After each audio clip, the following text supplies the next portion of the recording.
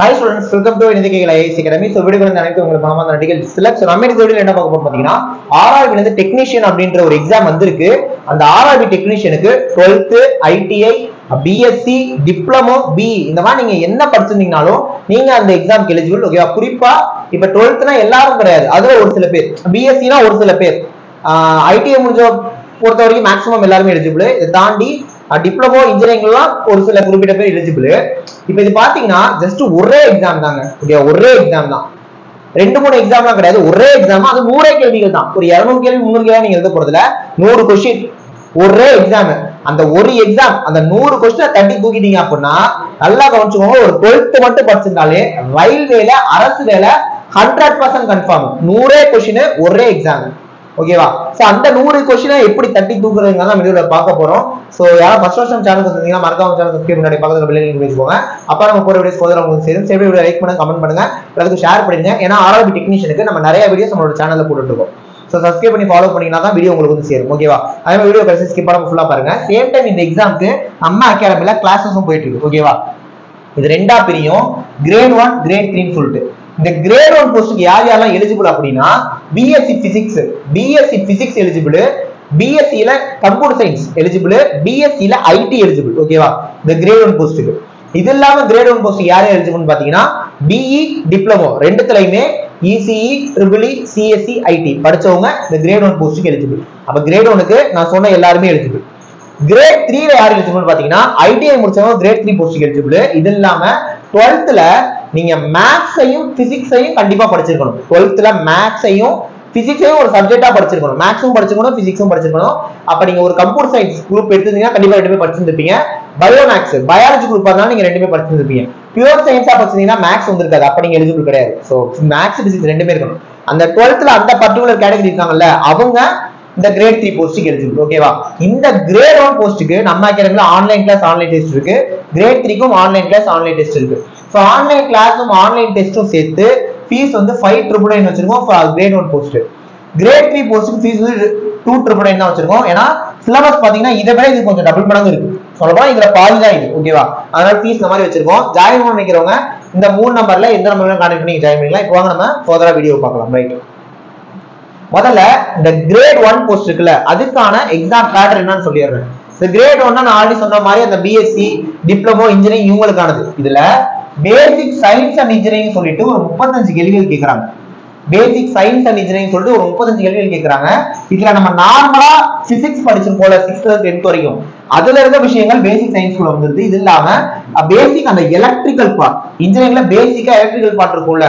ஓகேவா அது ரெண்டும் சேர்த்து ஒரு முப்பத்தஞ்சு கேள்விகள் கேட்கறாங்க ஓகேவா அடுத்து basic computer applications basic computer அப்ளிகேஷன்ல இருந்து ஒரு இருபது கேள்விகள் கேட்கறாங்க இதுல input device output device Linux Unix இந்த மாதிரி அந்த எம்எஸ் ஓகேவா விண்டோஸ் இதெல்லாம் அதாவது அந்த ஓஎஸ் அதெல்லாம் தான் நீங்க இதுல படிப்பீங்க. சோ பேசிக் கம்ப்யூட்டர்ல இருந்து ஒரு இருபது கேள்விகள் கேட்கறாங்க ஓகேவா நெக்ஸ்ட் ஆப்டிடியூட்ல இருந்து டுவெண்ட்டி கொஸ்டின்ஸ் கேட்கறாங்க ரீசனிங்ல இருந்து ஃபிஃப்டீன் கொஸ்டின்ஸ் கேட்குறாங்க ஜென்ரல் அவேர்னஸ் வந்து பத்து கொஸ்டின் கேட்குறாங்க இந்த ஜென்ரல் அவேர்னஸ்னா நீங்க என்னென்ன படிக்கணுங்க அப்படின்னு பாத்தீங்கன்னா history geography polity economics current affairs ஸ்ட்ராட்டஜிக்கு GK எல்லாம் படிச்சு ஒரு பத்து கேள்வி கேட்குறாங்க ஸோ கிரேட் ஒன் போஸ்ட்டுக்கு யார் யாரெல்லாம் எக்ஸாம் எழுத போறீங்களோ அவங்களுக்கு எக்ஸாம் பேட்டர்ன் இதுதான்.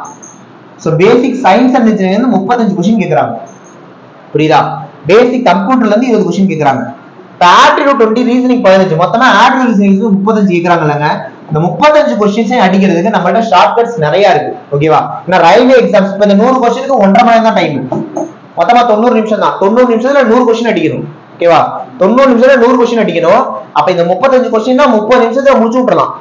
முடிச்சு விடணும். முடிச்சு விடுறதுக்கு ஷார்ட்கட் நம்மள்ட்ட பக்காவா இருக்கு. சரிங்களா? ஆட்ரோ ரீசனிங் முப்பத்தஞ்சு கொஸ்டின் பத்தி நீங்க ஒரி பண்ணவே தேவையில்லை.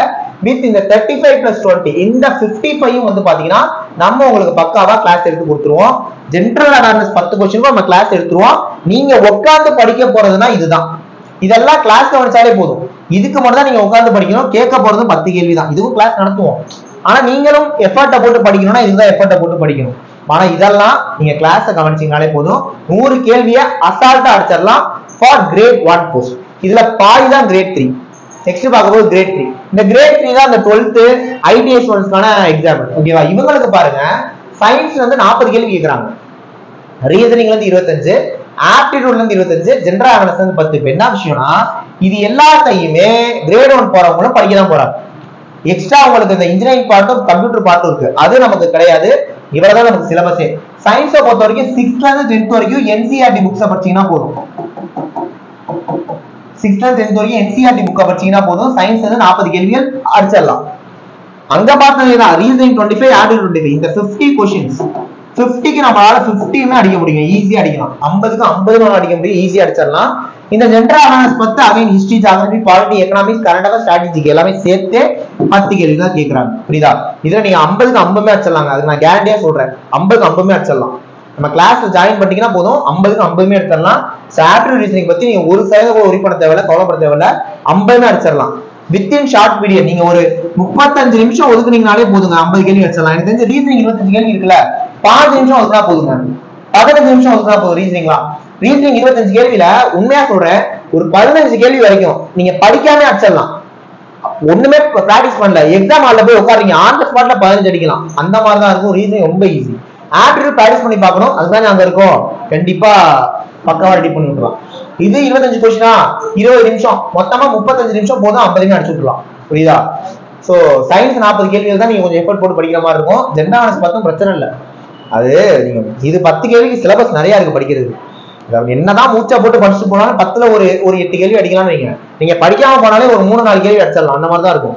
அப்ப மோர் கான்சன்ட்ரேஷன் இதை விட்டுருங்க. இது ஐம்பது ஐம்பது அடிச்சிடலாம். சயின்ஸ் மட்டும் ஃபோக்கஸ் பண்ணீங்கன்னா போதும் தட்டி தூக்கிடலாம். இது கிரேட் த்ரீக்கு ஓகேவா ஒரே எக்ஸாம்ங்க ஒரே எக்ஸாம் தான். நூறு கேள்வி. ஒன்றரை மணி நேரம் டைம் அந்த ஒன்றரை மணி நேரம் தான். இந்த ஒன்றரை மணி நேரத்துல நூறு கேள்விக்கு எவ்வளவு கேள்விகள் அடிக்கிறீங்களோ வேலைக்கு போயிடலாம். ரயில்வே வேலைக்கு போயிடலாம். புரியுதா? டுவெல்த் மட்டும் முடிச்சிருந்தா டுவெல்த் மட்டும் முடிச்சிருந்தா ரயில்வே வேலைக்கு போயிடலாங்க.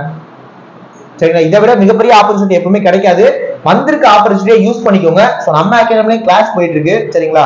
இது வந்து பாத்தீங்கன்னா பீஸ் டீடைல் ஸ்டார்டிங்கே சொல்லியிருப்பேன். ஜாயின் பண்ணணும்னா இந்த மூணு நம்பர்ல எந்த நம்பர் கனெக்ட் பண்ணி ஜாயின் பண்ணிக்கோங்க. நெக்ஸ்ட் ஒரு முக்கியமான வீடியோல பார்க்கலாம். தேங்க்யூ